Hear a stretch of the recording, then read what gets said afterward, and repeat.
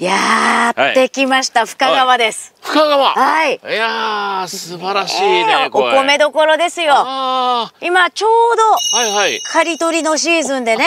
ちょっとこう黄金色になってるところが結構ありますね、今ね。ね。半々ぐらいになってるのかな？はいはい今ね、いや美しい丸山公園展望台から眺望をご覧いただいておりますけれども、新米のシーズンもスタートですから。あ、そうですね。これは新たな。食べたい。ね。新米食べたい。ちょっとお米情報をね、はいええ、食べたいでしょ新米。食べたいよ。ということで。用意したの？何にもブラリサーチですからここはノンアポでね。ノンアポですか。ちょっと足で稼いでいきたいと思います。はい、さあ今回はね新米を求めて道内でも有数のお米どころ香川市へ行ってきましたえまずは市内中心部を探索ということで、はい、JR 深川駅前からぶらりスタートしたんですやっぱりねりんごとお米の町ですからね。あの時計とかもねりんごちゃん。あ本当だ。ね。えー、歩道広あ出た。歩道広いやつ。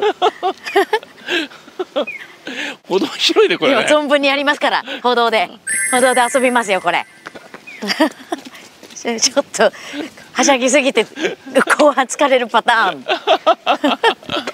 えええいやもうはしゃいでね もう歩いてこう街の人と触れ合いたいなっていう感じだったんですけど昼時ということもあってなかなか人がいないと。いなかった、えー、で酒屋さんであきちゃんが話を聞き込みにすると私に声をかけてきた人がいたんです。どっかお店の方ですか？ああ、あそこの美容室。今日やってないですよ。木曜日休みなんああ、木曜日休みなんですか。あれ。車でこうビーッと沿って、ちょっとお店に用事があって来たんですよ。そう近くで美容室を経営しているという竹中さん、はい、車で通った時に我々を見つけてわざわざ話しかけに来てくれたんです。映ってた。ありがたい。ありがたいあらこんにちは。近所の。近所のあそあそどちらの？あの美容室の。美容室の、あらお名前は、長いんですか？父の代から。あっていうことは武さんで何二代目？二代目なんですよ。ええー、でこちらが竹中さんの美容室、うん、創業56年ということでね非常に雰囲気のあるレトロなお店なんですよね。ちょっと立ち話もなんなんでねベンチでね、ええ、真ん中に座っていただいてね、はい、ちょっとサンドイッチ方式でね空根さんって道の駅の方に行く方向に左側にあのフレンチのレストラン。美味しいですよ。美味しい。お空根さん。何を頼んでも美味しいですうん忙しいのか？あもしもしお忙しいとこすみません。竹中です。あいいんですか？お願いします。すみませんはい、よろしくお願いします。ありがとうございます。ありがとうございます。感謝。いや、嬉しい。今日お休みでしょ？今日休み。一緒に行きません？いいんですか？来た来た。来たかな？来た来た来た。ちょっと映らないようにした方がいい？あ、こんにちは。そうちゃん、はじめまして。はじめまして。あきちゃんと。たくちゃんです。よろしく。これ、お近づきの印に、モンスケです。どうぞ。いいえ。一緒にご飯行こう、一緒に。なんとね息子の宗次郎君と武さん一緒に来てくれたんですよ。親子で参加、ありがとう。でこちらカジュアルフレンチのそらねさん。オーナーシェフの今泉さんが2010年にオープンした地元食材にこだわったメニューが人気の店。あいろいろあるよ。あらちょっと。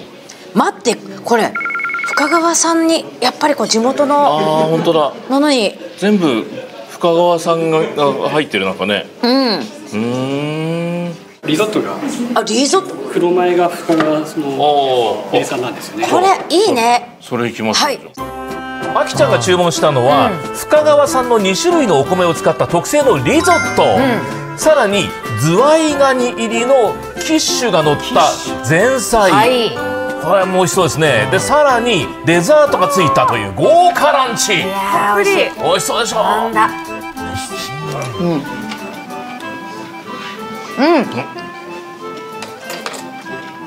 美味しい。美味しい、うん、美味しそうね、すごい。まさに。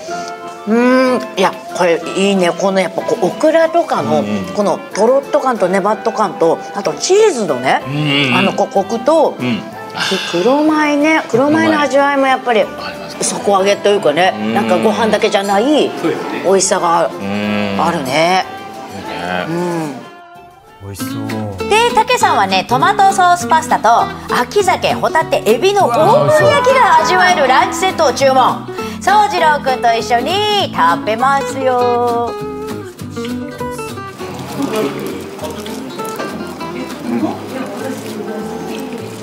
美味しゅうございます。あよかった。いいです。ね好きなもの食べたらいい。美 味しい。うん。ねうん。美味しいね。ねミニトマトとどっちが美味しい？これちっちゃい。野菜好きなんだもんね。ね。ね。え宗次郎くんありがとうね、そしてたくちゃんが食べたこの美瑛産のもち豚を使ったステーキも最高だったよいやこれはまたね、厚みがあって噛むとじゅわっとこう肉汁の甘み、これは最高でしたね。かなりのボリュームなんだよねセットだランチじゃないよこれね、農家さんの知り合いとかもそうの裏の畑で作ってるえ。何の畑ですか？ということですぐお隣の農家さんだよって教えてくれてなんか全部みんなに頼んでばっかり。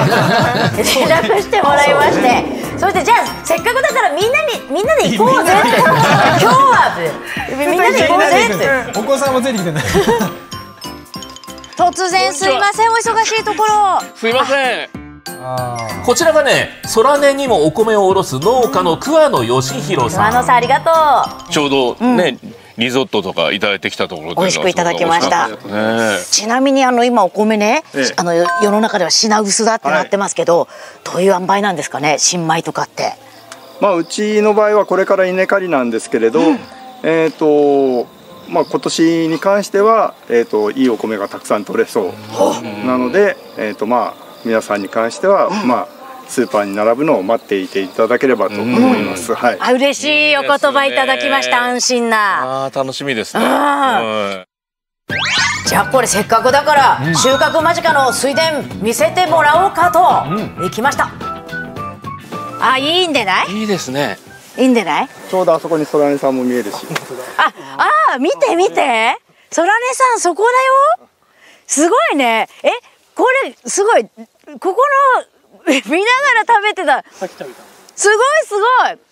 見ることできたよ。これが新米ですね。いやー、美しいね。ね、そしてすごい本当神戸ぐーって垂れてるね。うん、うん、うん身入ってますせって。そうお米入ってますよって。もう収穫、収穫を待ってる状態なんで早く。去年より美味しいです。あもう。ねもうこれを見たらわかりますよ、ねこの実り方を見たらね。あありがたくいただかなきゃいけませんね、ねちょっとこれ。本当だね。いやちょうど我々行った時3時くらいかな、あの教えてくれた桑野さんが見てごらん。黄金に稲が輝いてるでしょ。綺麗だったね。ね。うん。はい景色。ちなみに桑野さんのところでは10月上旬の出荷を予定しているそうで深川でもね美味しいお米ができてるよって聞けただけでなんか一安心しましたね。新米までもうちょっとだよね。はい、待ってください。